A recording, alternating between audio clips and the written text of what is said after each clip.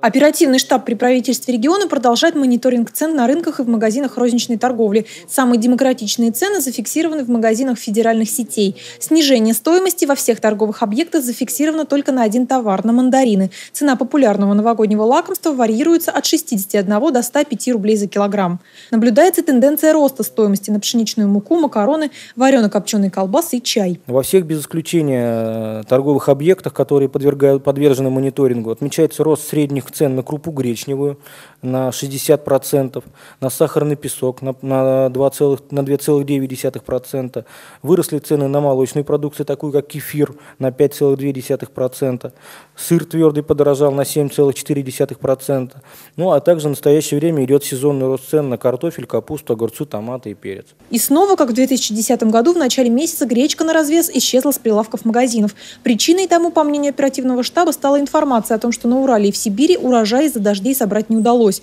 В Департамент экономического развития поступали звонки от возмущенных горожан, которые сообщали адреса магазинов, где крупа стала дефицитом. Специалисты провели мониторинг, и факт подтвердился. В течение недели ситуация нормализовалась. Второй волны так называемой гречневой лихорадки департамент не прогнозирует. По состоянию на 12 ноября крупа гречневая на развес появилась э, в 50% проверенных магазинов.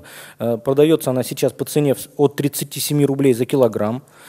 Значит, э, по информации Управления Федеральной антимонопольной службы по Ивановской области, жалоб от населения об отсутствии крупы гречневой в продаже, в том числе и россыпи в магазинах города Ивановой области, на сегодняшний день не поступало. Светлана Давлетова предложила представителям крупных торговых сетей поддержать ивановских производителей и по возможности выделить отдельные полки для товаров местного производства. Если на этот шаг предприниматели пойти не готовы, необходимо сделать отметки на ценниках «Произведено в Иванове».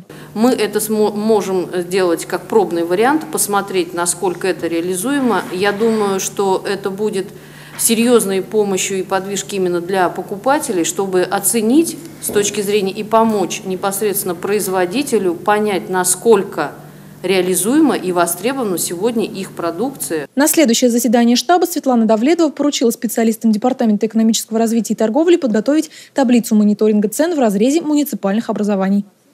Мария Смирнова, Андрей Семиволков, РТВ Иванова.